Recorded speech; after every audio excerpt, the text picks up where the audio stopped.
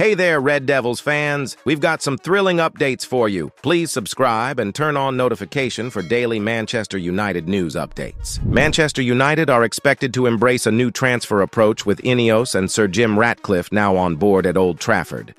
The day of paying up for the likes of Raphael Varane and Casemiro may well be over. Rather than paying big money for experienced players, United will look to land the stars of the future and nurture them at Carrington. That is what Sir Jim Ratcliffe indicated just last week anyway, having been asked whether United will be looking to land Kylian Mbappe this summer. Ratcliffe told the Geraint Thomas Cycle Club that he would rather attempt to find the next Mbappe than commit to huge wages on the Paris Saint-Germain superstar. Finding anybody even remotely similar to Mbappe will not be easy, but Ratcliffe's comments indicate that United are ready to focus on young signings with big potential. Expect to see some top talents linked with United in the coming weeks and months, with Boca Juniors prospect Aaron Anselmino already thought to be a target. Another hot prospect is now being linked with a move to Old Trafford, and this one would cause some serious excitement. Calcio Mercato reported that United have now made a very important offer to sign AC Milan wonder kid Francesco Camarda. It's claimed that Camarda's agent Giuseppe Riso has a very cold relationship with Zlatan Ibrahimovic, with the former United striker taking on a key role in Milan's football operations. Camarda is yet to sign his first professional contract with Milan, and it now looks like United are trying to lure him to Old Trafford. The problem is that Camarda only recently turned 16, and, under post-Brexit rules, he wouldn't be able to join United until turning 18.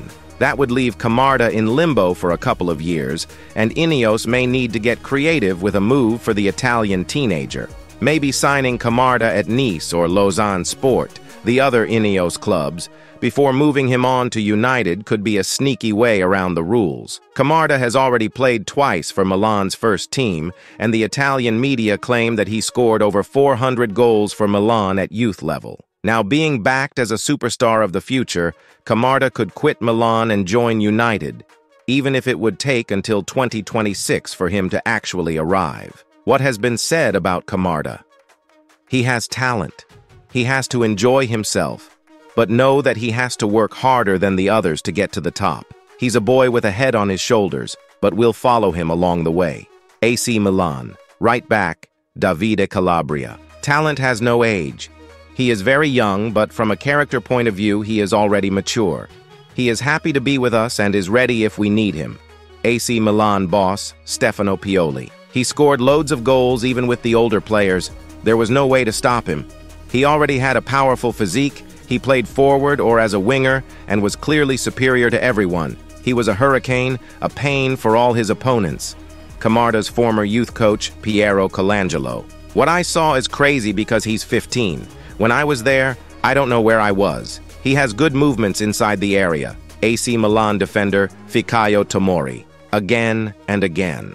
Manchester United are confident they will be allowed to compete in European competition next turn, despite a potential conflict of interest over Ineos's multi-club model. League One side Nice, who are owned by Ineos, are also poised to qualify for Europe ahead of next season. UEFA have attempted to crack down on multi-club ownership, and their latest rules stipulate that if two clubs from the same ownership group qualify for the same competition, only one will be allowed to enter. According to a report by HITK, Man United are planning for Erik Ten Hag to remain manager next season. Ten Hag's future has been a hot topic ever since the Ineos group sealed a minority stake in United last month. As a result of clinching 27.7% of the club's shares, Ineos now oversee all football-related matters at the club. Ten Hag is understood to be in a position of uncertainty, and England manager Gareth Southgate has been heavily linked with replacing him.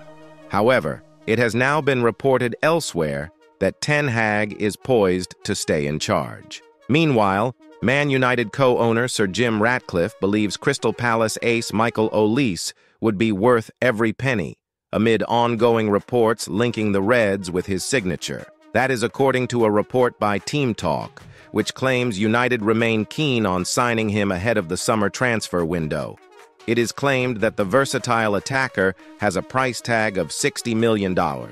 And he is not the only one. According to a report by CalcioMercato.it, United have intensified contacts with Juventus to try and sign defender Gleison Bremer ahead of this forthcoming summer's transfer window. The Brazilian international, 27, has constantly been linked with a move to Old Trafford in recent weeks, amid the club's bid to strengthen at center-back ahead of next season. Bremer has made 29 appearances for Juventus this season so far, chipping in with two goals, again and again.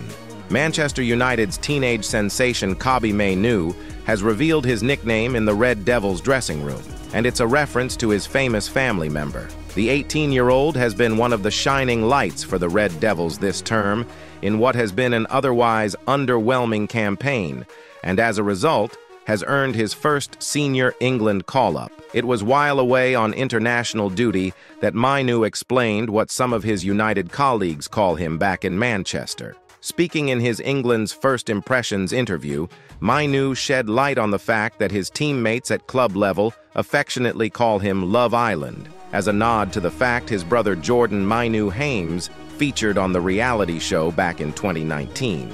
My brother was on it, the United midfield ace explained. I'm close to him. You know what? Going back to another question, my nickname. The kit man at United always called me Love Island. He's been doing so since I was like 16. Keen to point out that Mainoo is not one to turn on the charm, like Love Island viewers saw his brother do. The Red Devils star added, No, it's not even that. They're just jokers. Mainoo's England call-up marks the next step in what has been a meteoric rise to first-team football for both club and country. Keen to reach the next level, the 18-year-old admitted he has his sights set on being named in Gareth Southgate's squad for Euro 2024 in the summer. I think that's the end goal for the season, to get into that squad, Mainoo revealed, after his first training session with England at senior level. Obviously, I've got to focus on club football in the meantime, and hopefully that'll figure itself out. It's been a pretty mad couple of days. Sunday obviously was a great game and a great win. Then to get called up to the under-21s, obviously I was excited to come. Then getting down here and realizing that I was with the first team was amazing. I was shocked and happy, and it's been a whirlwind of emotions. Meanwhile, Wembley awaits Man UTD versus Coventry and Man City versus Chelsea. FA Cup semi-final kickoff times moved after police request.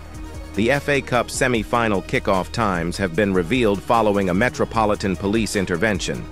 Manchester United's clash with Coventry has been brought forward to 3.30 p.m. on Sunday, April Shea Lacey. That's because the Metropolitan Police deemed it to be a high-risk fixture. The FA initially requested a 4 p.m. kickoff, but it was brought forward by 30 minutes after the police expressed public order concerns. Meanwhile, Manchester City's match against Chelsea will start at 5.15 p.m. on Saturday, April 20th.